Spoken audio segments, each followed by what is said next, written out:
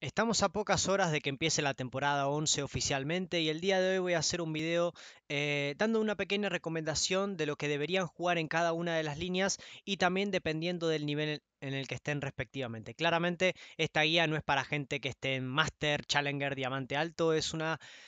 Mm, tampoco es una guía, es un video más que nada para recomendar a esa gente que le cuesta mucho principalmente salir de oro, platino, silver y, y quizás quieren tener quieren tener mejor ranking de cara a esta temporada 11. Y bueno, voy a hacer un poquito de recomendación de qué es lo más óptimo para jugar dependiendo en estos elos bajos para subir elo en esta temporada 11, ¿no?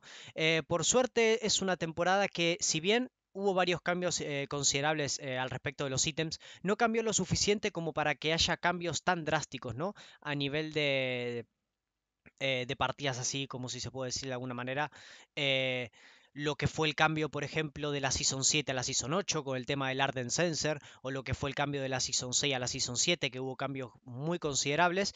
Eh, en este caso no hubo muchos cambios desde la Season 10 a la Season 11, si bien eh, como digo, eh, el tema de los ítems fue un cambio importante. Los junglas, los junglas de farmeo siguen estando muy OPs. Eh, los, top laners tanques siguen estando bien. Y, los que suelen jugar el, matchup uno contra uno y transicionar ventajas siguen estando muy bien. Pero bueno, eh, voy a tratar de separarme lo más posible de lo que es el, el LOL competitivo y hablar pura y exclusivamente del solo queue. Yéndonos a la top lane, yo creo que los personajes más óptimos para jugar eh, están un poco ligados al competitivo porque son los más fuertes al fin y al cabo. Yo creo que es muy recomendable jugar personajes como Orn, personajes como Malphite, personajes como Ganen incluso. Son personajes que siempre... Eh, te dan un seguro de vida constante y por más que tengas una mala partida, te vas a sentir útil prácticamente eh, el desde que empieza hasta que termina te vas a sentir útil. Eh, ¿Por qué digo esto? Porque hay muchos top players que lamentablemente si no tenés un impacto real en la fase de líneas después te vas a sentir muy inútil, como puede ser el caso de Renekton, como puede ser el caso de Camille, eh, como puede ser el caso de muchos otros que necesitan pura y exclusivamente ponerse por delante. Si sos un jugador que le gusta ser opresivo en fase de líneas, te puedo recomendar los personajes Ranged, tipo Kennen, tipo Lucian. Em, tipo Queen incluso, pero para eso necesitas un talento individual un poquito más alto de lo normal y también lo que necesitas es saber muy bien el matchup que te vas a enfrentar, porque no podés blind piquear esta clase de personajes y necesitas eh, tener, ser, ser un poquito consciente de lo que te vas a enfrentar enfrente del personaje que vas a tener enfrente. Pero como digo, en la top lane lo que más recomiendo son personajes muy facilitos. Si tienen un engage muchísimo mejor, como puede ser el caso de Orn o el caso de Malphite, eh, también te puedo recomendar e, efectivamente, como digo, el Garen sigue siendo un personaje muy muy muy útil. Eh, se suele ver muchísimo en low vuelo, eh, principalmente hasta platino y diamante bajo, mucho Darius. Eh, es un personaje que es muy recurrente y hay mucha gente que eh, lo banea, incluso es muy baneado. Creo que Darius es uno de los top laners que más tasa de ban tiene en low vuelo. ¿Y por qué es esto? Básicamente por la pasiva y por lo fácil que es castigar errores del rival. Eh, para toda esa gente les recomiendo que no banen mucho a Darius porque están tirando un ban a la basura porque realmente es un personaje que se le puede jugar bastante fácil contra él. Es un personaje que básicamente eh, se basa mucho sus autoataques y el tema de la Q para recuperar la vida. Eh, yo creo que es un personaje muy fácil de contrarrestar, principalmente Darius va bastante, bastante mal en, low vuelo, claramente en high yellow los que son Darius main en high yellow te van a saber abusar al margen de si el personaje es bueno o malo. Pero en low vuelo, la mayoría de los Darius suelen ser bastante, bastante mediocres. Así que recomiendo mucho jugar personajes tanques que eh, Darius les cueste ganar la fase de líneas o si no, personajes rangeds a cual eh, podés abusar muchísimo de él y, Darius no se te puede acercar a dar la Q. Eh, por ejemplo, como digo, Queen, Kennen también va bastante bien, eh, Lucian es un personaje que suele ir muy bien también por el dash, em, pero bueno, también hay personajes como Camille, etcétera, que siguen siendo muy buenos contra Darius, pero, pero bueno, ya no, no, no lo recomiendo porque el caso de Camille es para gente que ya sabe jugar mejor y es mejor mecánicamente, pero bueno, esos serían los personajes que más suelo recomendar. Darius, Malphite, Garen son como los tres, son como la trinidad que suelo recomendar para eh, ganar partidas de la manera más fácil. Y después tenés los típicos Maokai que te siguen funcionando. Eh, Renekton que también eh, te puede servir muy bien para jugar la fase de líneas, pero ya dependes mucho más del early game. Pero sí, esos, esos personajes son los que más suelo recomendar porque también no solamente que son muy fáciles de jugar, sino que para subir elo son muy, muy, muy buenos. Yéndonos a la jungla, yo creo que en la jungla tenés un poquitito más de variedad porque puedes jugar personajes agresivos y personajes tanques independientemente del matchup, porque si bien hay matchup, el matchup de la jungla es un poquito distinto en solo queue, ¿no? El matchup de la jungla en solo queue es más que nada ver quién gankea más o quién se lleva eh, la mayor cantidad de kills y, quién transiciona mejor las ventajas, ¿no? Por eso suelo recomendar muchísimo, eh, primero, personajes tanques que puedan hacer buenos ganks, como Sejuani, yo creo que para lo vuelo es un muy buen personaje. Eh, suelo recomendar muchísimo también personajes que tengan un, gap closer muy fácil de hacer, como puede ser el caso de Harvan. Esa clase de personajes los recomiendo muchísimo. Eh, si, te querés asegurar un poquitito más la partida irte un poquito más al late game, eh, puedo recomendar Cartus también porque es un personaje que farmea la jungla muy rápido, muy fácil y también siempre que quieras hacer una kill eh, y veas a alguien bajo de vida, siempre vas a tener la R para poder tirarla y llevarte un par de kills de manera totalmente free. Eh, si tenemos, si es un jugador quizás un poquitito más playmaker que quiere eh, mejorar, no tanto ganar, te puedo recomendar Graves, te puedo recomendar Lilia, te puedo recomendar Evelyn, pero claro, son personajes más para realmente aprender a jugar y para aprender a, a, junglear más que para subir elo. Son dos cosas totalmente distintas. Si tenés que subir elo, Zack, Sejuani, Harvan, personajes facilitos que tengan un engage bastante fácil de hacer y que sean efectivos tanto en early game como en late game. Yéndonos a la mid lane, eh, la mid lane es, tenés una pool de campeones gigante. Podés jugar desde los asesinos, eh, Talon, Zed, eh, Kiana, etc. Y tenés también a los personajes que son magos de control, como puede ser el caso de Syndra, el caso de Oriana, el caso de Zoe, etc. ¿Qué recomiendo en la mid lane? En la mid lane recomiendo básicamente personajes también facilitos y, si se puede decir de alguna manera, los personajes que también sean eh, point, point and click. ¿Qué quiero decir con point and click? Que tengan una habilidad suprema y que sea fácil de que apretás y sos efectivo.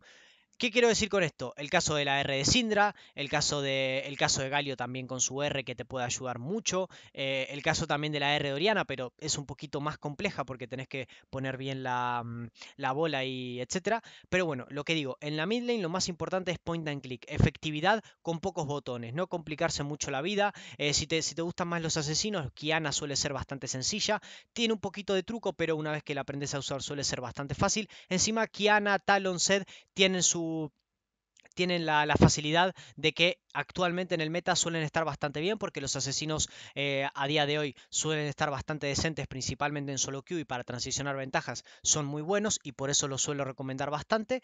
Y eh, como modo de control digo eh, Sindra, Orianas son muy muy muy buenos y también la Zoe es un personaje que a día de hoy también está bastante bien y lo recomiendo bastante pero con Zoe es un personaje que necesitas un poquitito más de práctica de controlar el mapa, con el tema de la E, con el tema de la Q, es un poquitito más complicado, pero también tiene esa efectividad de que eh, si vas lo suficientemente fedeado, solamente te tenés que combinar dos habilidades para poder matar a alguien. Yéndonos a los AD a la vida dura de los AD eh, a día de hoy solamente para low elo y para subir elo, solamente recomiendo tres personajes. Los personajes son Tristana, Caitlyn y Ashe. ¿Por qué? ¿Por qué digo esto? Primero, porque son tres personajes que abarcan tres cosas, tres cosas diferentes y los tres son muy buenos para subir elo. Eh, con Tristana tenés la posibilidad de ser agresivo en línea y que básicamente eh, en low elo siempre vas a tener puntos positivos en los cuales puedes reventar. En early game con el tema de tiene un level 3 muy bueno con el salto, con la bomba y con la Q que atacás más rápido para poder matar en el 2 para 2. En late game sigue siendo un personaje que con el rango que vas ganando es muy bueno Tristana y en el mid game tampoco es un personaje que decae bastante y podés ser bastante útil para tu equipo a la hora de entrar, matar matar a alguien y poder salir con el reset de la W.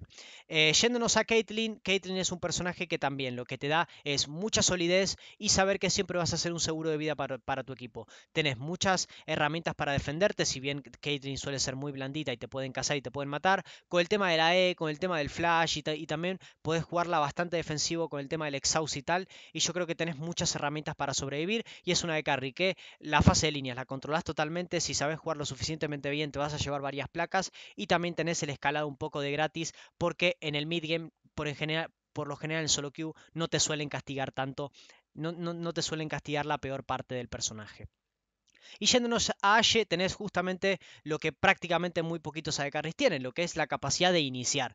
¿Cómo, ¿Qué quiero decir con esto? Que con la Ashe puedes iniciar con la R y básicamente ser una pieza fundamental para tu equipo para carrilear partidas. En low vuelo, Ashe es un personaje totalmente efectivo por la capacidad que tiene de ganar una teamfight ella sola. En low vuelo no se suelen comprar QSS, no suelen haber muchas herramientas defensivas, por lo general todos se suelen comprar mucho daño y por más que vayas por detrás, le tirás la R a la de carry rival, lo matás rápido y prácticamente tenés la teamfight asegurada. Después, si querés ser un poquito más específico y querés tener una Ashe secundaria, Shin te suele funcionar muy bien porque con el tema del abajo del telón también puedes iniciar peleas. Eh, si querés ser un poco más playmaker, tenés el caso de Lucian, tenés el caso de Kaisa, pero suelo recomendar Caitlyn. Em, Tristana y Ashe como para eh, subir elo. También recomiendo Sivir, pero como a día de hoy en, el meta Sivir está bastante, bastante mal, no la recomiendo tanto porque tanto el, early game como el mid game suele ser muy, muy, muy malo. Y yéndonos a los supports, eh, en los supports lo que suelo recomendar más que nada es personajes que tengan un engage muy fácil.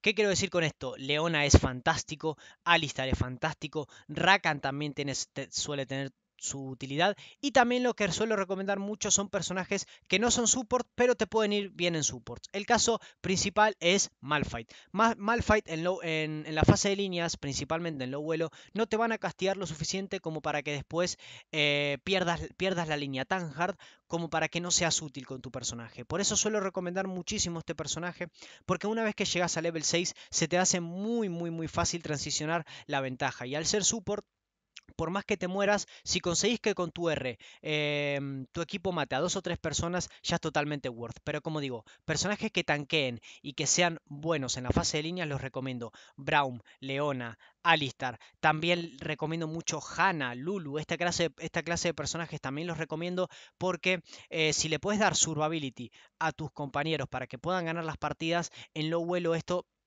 eh, se, se, agradece bastante porque como los equipos rivales no saben medir muy bien los límites al estar en un elo bajo, eh, como exageran tanto y, quizás pueden eh, overestendearse tanto, si le pones un escudo preciso a un compañero tuyo, una R de Lulu, una R de Hanna, puedes hacer el suficientemente tiempo para que el equipo rival cometa un throw y ganar la partida a raíz de ahí.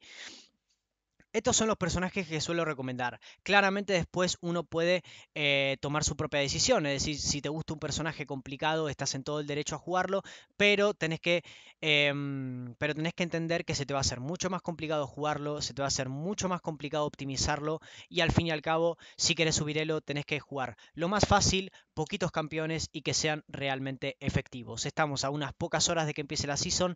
Eh, les deseo lo mejor en, estas, en estas 10 placements que, vienen por delante. En la descripción le voy a dejar todas mis redes sociales, eh, Twitter, eh, PayPal por si me quieren ayudar económicamente.